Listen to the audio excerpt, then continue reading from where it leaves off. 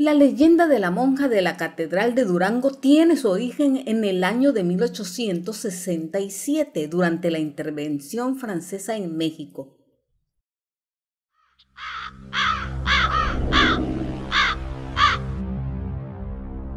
Nunca más. Se dice, se cuenta que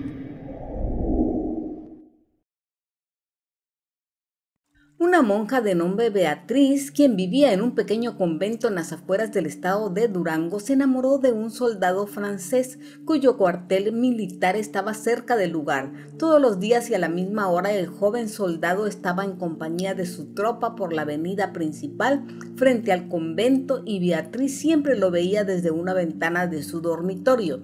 Lo que sucedió unos días después dejaría marcada una leyenda de horror que prevalece entre las leyendas del Estado hasta nuestros días.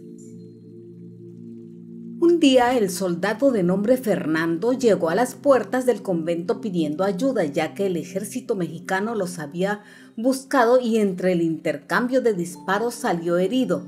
En ese momento la monja, al ver la desesperada situación del combatiente francés, decidió darle asilo por un par de días mientras recuperaba su estado de salud en medio de la batalla.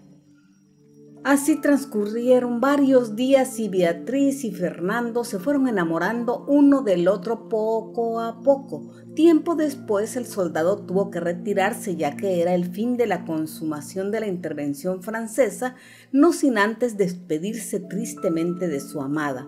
El soldado francés le prometió a Beatriz que regresaría algún día. Mientras tanto, los soldados mexicanos buscaron a los pocos franceses que trataban de esconderse o de salir del país.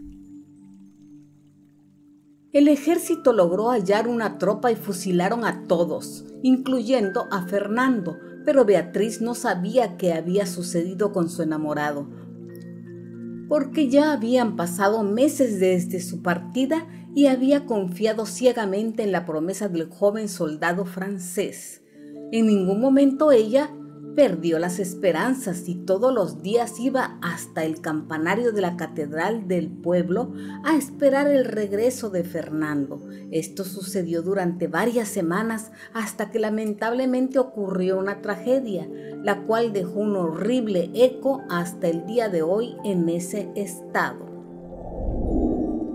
Una mañana, mientras el sacerdote abría la puerta principal del templo religioso, se percató del cuerpo de una mujer que yacía sin vida con todo su ser completamente destrozado.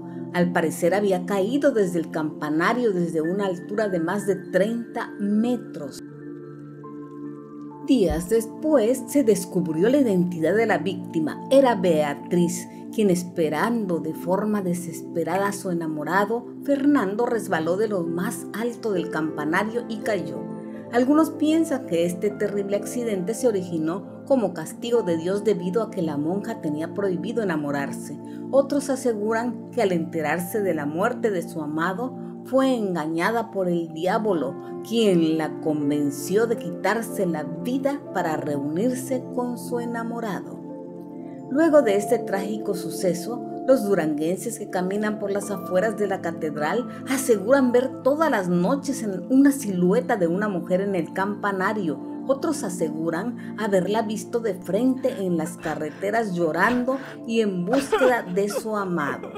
Durante los años 50 del siglo XX se lee en algunos periódicos de la época la leyenda de Beatriz, la monja de la catedral, leyenda creada por el escritor Luciano López Negrete como regalo para su ciudad, es en los primeros medios escritos encontrados hasta la fecha donde aparece por primera vez este relato.